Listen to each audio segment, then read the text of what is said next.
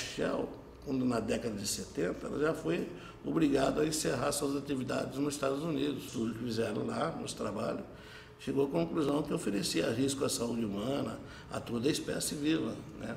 e ao meio ambiente. E ela, sabendo disso, veio aqui para o Brasil.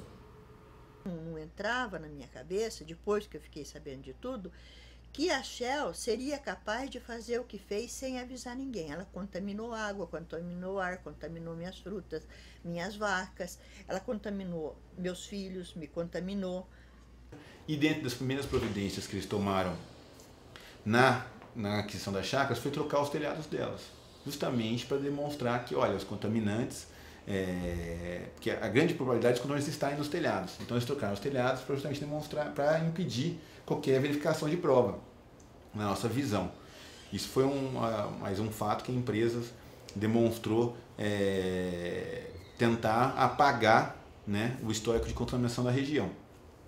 Aí, dentro das chácaras, apenas uma chácara hoje ainda não foi vendida. E essa pessoa, uma, uma senhora, ela mora no hotel até hoje porque está discutindo o valor da indenização que ela teria que receber pela venda da chácara. Eu estou aqui há 10 anos, sem solução nenhuma, e o que a Shell me oferece em troca da minha propriedade, quer dizer, ela está sendo, ela tem que comprar as propriedades de lá, equivalente ao que a gente tinha. E a Shell não quer, é o dinheiro que ela quer me pagar pela minha propriedade, o preço que ela impôs, não dá para eu comprar uma casinha na periferia, periferia aqui de Pauline.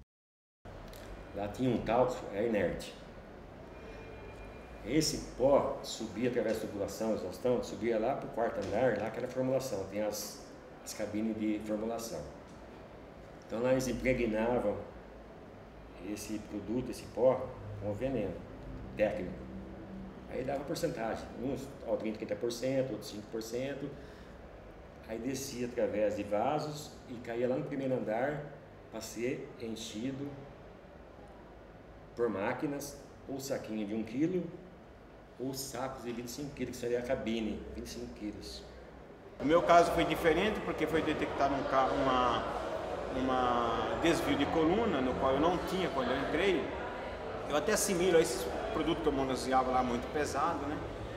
Mas a gente fez um acompanhamento médico aí, fiz mais um, alguns exames. Não, você pode fazer um tratamento e pode acompanhar isso daí, né? Eu fiz muito esforço físico lá, na verdade. Os tambores lá era. O mínimo que pesava era 200 quilos. Tinha tambor com a densidade 1.5 lá que pesava 13 quilos, 300 quilos. Eu tinha que manipular ele, colocar em pallet, não era um só não, era batelado de tambores. Então eu esforcei muito o meu braço lá. O garfo da, da, da, da empilhadeira, ele entra para poder levantar a, a, esse palito com, com os produtos para sair. Só que às vezes quando o garfo entrava, então ele avariava um dos sacos. Ou quando às vezes ele saía, às vezes uma parte do, do pallet pegava na sacaria e fazia esse rasgo. Isso fazia com que ó, na parte de, de, do, do, do, do, pó, praticamente esse pó caía, as empilhadeiras movimentando, então esse pó ele subia, praticamente fazia tipo uma névoa que depois era necessário jogar serragem, varrer e tirar isso daí. E lá era um ambiente extremamente insalubre, perigoso. Então a gente teve exposto lá substâncias a, um, de forma permanente e habitual, sabe? Tinha uma, uma rondaninha lá que o chefe chegava e pedia para você aumentar a velocidade, para produzir mais outro turno que entrar. Era aquela competição. E nisso desregulava a máquina, a velocidade, tem uma aí estourava o saquinho. Estouro, aí você respirava aquele pó, mesmo com máscara. Se você tivesse um pouquinho barbudo, a máscara passava pó. Você entendeu? Uma documentação que nós conseguimos da CETESB onde dizia que desde o seu início a Shell estaria jogando a nível chão meio quilo de aldrin, dos produtos do, do, do, do, do aldrin, no ambiente. Como a fábrica trabalhava 24 horas, 24 horas a base de meio quilo quer dizer o quê? Que a cada dia 12 quilos desse produto ia para o meio ambiente na, e ficava em suspensão. Então você transitava e praticamente material respirável. Naquela época acusou a presença de, de sete produtos no meu organismo. E quatro deles já banidos no mundo inteiro. Né? Em 84, a minha esposa ficou grávida e essa criança veio a nascer, ela foi gerada normal, nasceu peso normal. Com 20 minutos que ela nasceu, ela faleceu.